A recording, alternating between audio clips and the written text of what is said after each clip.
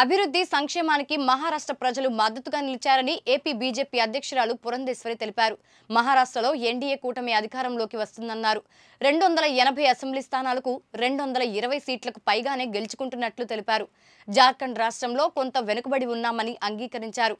విభజించు పాలించు నినాదంతో దేశంలో ఇండియా కూటమి పనిచేస్తుందన్నారు.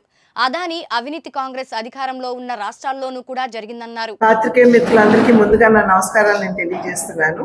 ఈరోజు ఈ రోజు మహారాష్ట్ర మరియు జార్ఖండ్కి సంబంధించినటువంటి ఎన్నికల ఫలితాలు వెలువడినటువంటి నేపథ్యం.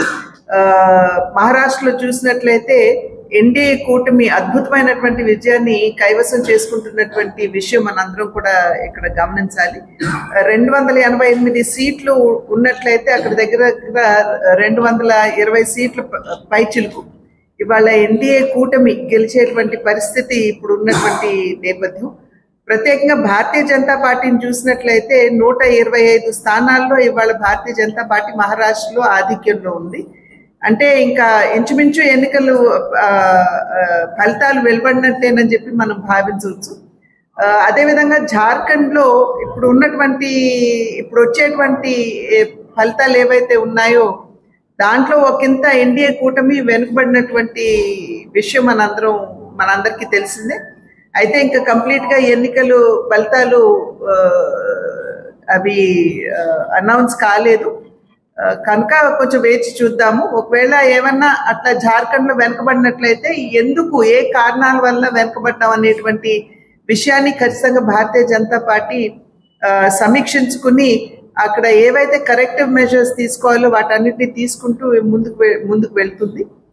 అదేవిధంగా ఏ పార్టీ అధికారంలోకి వచ్చినా కూడా నిర్మాణాత్మకంగా ఆ రాష్ట్ర అభివృద్ధికి భారతీయ జనతా పార్టీ కట్టుబడి పనిచేస్తూ ముందుకు వెళ్తుందని చెప్పి మీ మీ అందరికీ కూడా నేను తెలియజేస్తున్నాను. అదేవిధంగా ఇవాళ మహారాష్ట్రలో కనుక చూసినట్లయితే అద్భుతమైనటువంటి విజయాన్ని ఎన్డీఏ కూటమి అందులోనూ భారతీయ జనతా పార్టీ ఇవాళ కైవసం చేసుకుంటుంది. ఇది ఒక రకంగా చూసినట్లయితే ఏదైతే సమాజాన్ని దేశాన్ని విభజించి పాలించు అనేటువంటి ధోరణితో కాంగ్రెస్ ముందుకు వెళ్ళిందో అంటే రాజీవ్ రాహుల్ గాంధీ గారు ఎప్పుడైతే బీసీ కులగణన జరగాలి అని చెప్పి ఒక ఎమోషనల్ అంశాన్ని వారు తీసుకుని వచ్చి దెబ్బతీయాలి అని చెప్పి చూశారో ఒక రకంగా భారతీయులు అందులోనూ మహారాష్ట్రలో ఉన్నటువంటి ప్రజలు దాన్ని తిరస్కరించారు అనేటువంటి విషయం మనం ఇక్కడ గమనించాలి. అదేవిధంగా గడిచిన పది పదిహేను సంవత్సరాలుగా దేశానికి అందించినటువంటి సుపరిపాలన భారతీయ జనతా పార్టీ నాయకత్వంలో ఉన్న ఎన్డీఏ ప్రభుత్వం దేశానికి అందించినటువంటి సుపరిపాలన అవినీతి రహిత పాలన అదేవిధంగా దేశ అభివృద్ధి మీద దృష్టి పెడుతూ ఇవాళ ప్రపంచ వ్యాప్తంగా అంతర్జాతీయంగా ఎక్కడికి వెళ్ళినా కూడా భారతదేశానికి ఉన్నటువంటి గౌరవం మనందరికీ తెలుసు. నరేంద్ర మోడీ గారు ప్రత్యేకించి వారు ప్రధాని అయిన తర్వాత ఆ, ప్రపంచవ్యాప్తంగా వారు పర్యటన చేస్తూ భారతదేశ ఔన్నత్యాన్ని మన సంస్కృతిని దేశవ్యాప్తంగా వారు ప్రతి దేశంలో కూడా వారు తెలియజేసినటువంటి సందర్భంలోనే ఏదైతే విశ్వగురువుగా మన భారతదేశాన్ని చూడాలి అనేటువంటి ఆకాంక్ష ప్రతి భారతీయుడి మనసులో ఉందో ఒక రకంగా దాన్ని నెరవేరుస్తూ ఇవాళ ఒక గొప్ప స్థానాన్ని గౌరవాన్ని భారతదేశానికి అందించడం జరిగింది. కనుక ఇవాళ భారతీయులు అందులోనూ ప్రత్యేకించి మహారాష్ట్రలో ఉన్నటువంటి ప్రజలు ఆ రకమైన ఆ గౌరవానికి పట్టం కట్టారు అభివృద్ధికి పెద్దపీట వేశారు అని చెప్పి మనం అందరం కూడా ఇక్కడ గమనించాలి.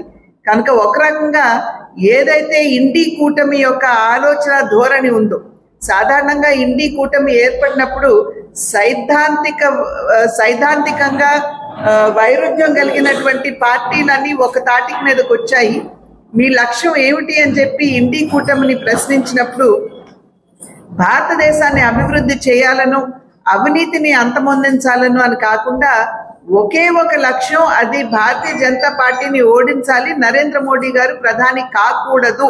అనేటువంటి ఒకే ఒక సమాధానం మనకి ఆ కూటమి కన్వీనర్ అయినటువంటి మల్లికార్జున్ ఖర్గే గారి దగ్గర నుండి కూడా వచ్చినటువంటి విషయం మనందరికీ తెలుసు.